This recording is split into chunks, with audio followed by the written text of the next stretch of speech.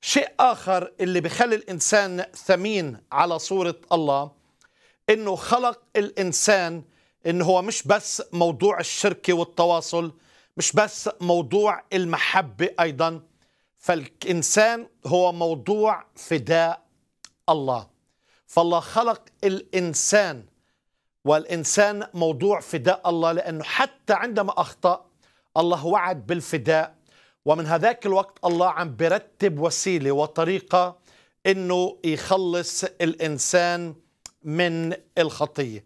الإنسان هو الوحيد اللي أخذ وعد بالخلاص والإنسان هو الوحيد اللي نال هذا الخلاص.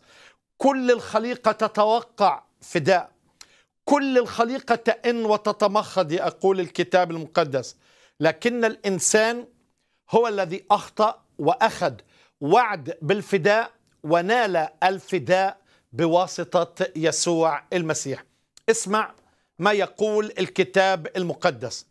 لأنكم افتديتم لا بأشياء تفنى بفضة أو ذهب من سيرتكم الباطلة التي تقلدتموها من الآباء بل بدم كريم كما من حمل بلا عيب ولا دنس دم المسيح معروفا سابقا قبل تأسيس العالم.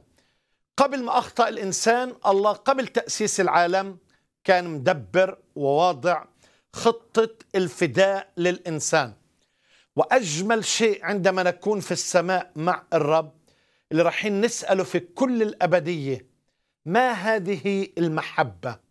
هذه المحبة التي افتقدت شخص يحتاج إلى الخلاص شخص ظالم شرير فاسق شخص ضال عايش في ظلمه مصيره الهلاك الأبدي.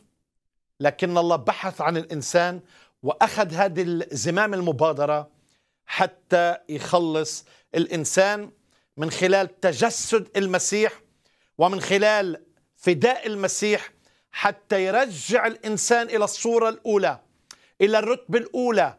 إلى الحالة الأولى اللي فقدها الإنسان.